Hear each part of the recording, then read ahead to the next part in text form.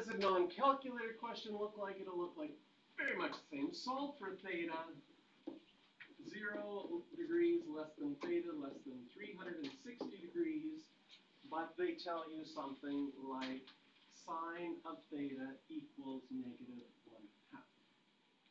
So if it's a non-calculator question, it means that the numbers come from one of your special triangles.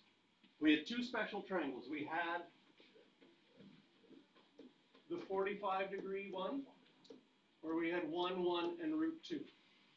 And we had the equilateral triangle, where we went 2, 2, 1, 1, 60 degrees, 60 degrees, and because this was cut in half, 30 degrees and 30 degrees.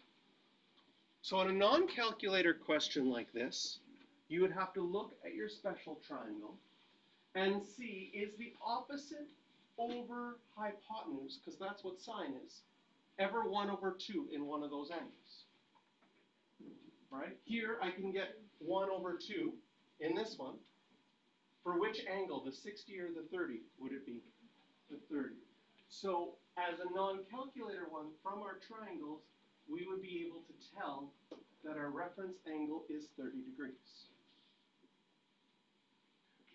But we need to solve for theta, not for the reference angle. Sine of theta is negative. According to your CAST rule, that happens in quadrant 3 and quadrant 4 because sine is positive in quadrant 2 and all of them are positive in quadrant 1.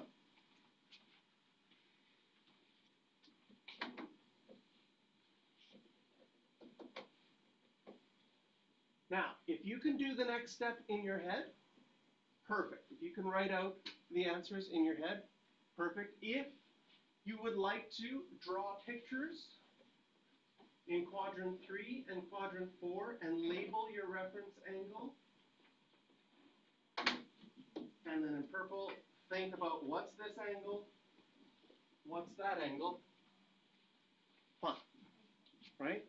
Eventually, go, I think I can visualize this in my head. If it's in quadrant three, I would go 180 plus my reference angle. That one will be 210 degrees. If it's in quadrant four, all the way around is 360, too much, minus my reference angle of 30 is 330 degrees.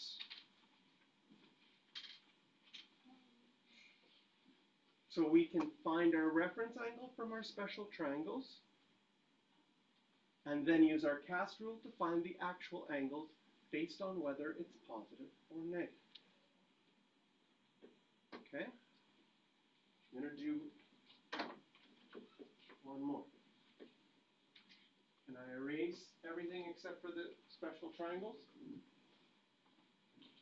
Well,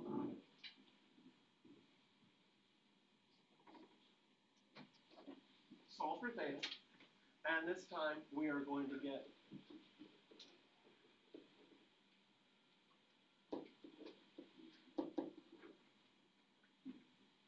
three tan theta minus root three is equal to zero.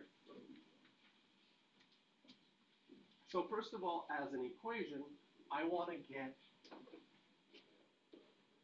this by itself.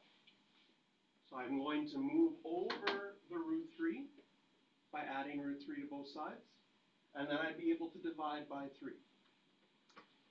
Are you okay if I do that in one step?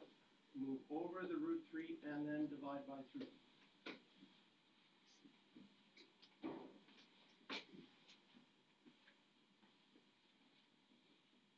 Oh, no special triangle. We had a root 3 there. Now, I have a root 3 in this one. I do not have a root 3 in my other special triangle. So it's making me think it's going to be this triangle. It's either 60 degrees or 30 degrees. From the triangle, though, I would have tan of 60 degrees is root 3 over 1, and tan of 30 degrees is 1 over root 3.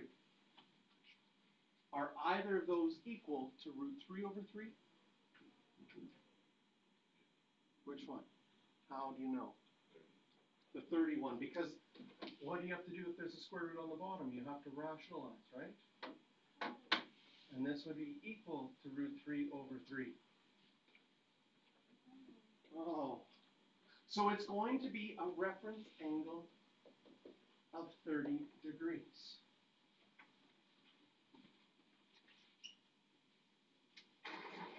Now that you have your reference angle of thirty degrees, according to the cast rule, where are we going to look for this one? Tan is positive. So we'll look in quadrant one where they're all positive and in quadrant three. So then solving for theta, well tan, quadrant one, if the reference angle is thirty, the angle is thirty. That's easy. In quadrant three, can you see you would go one eighty plus your reference angle of thirty? And get two hundred and ten degrees.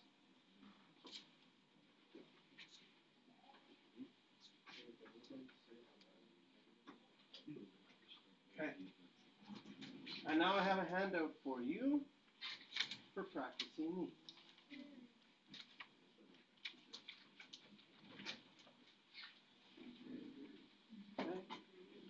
The ones that are circled on this handout, you need to use your calculator. All of the other ones are non-calculator.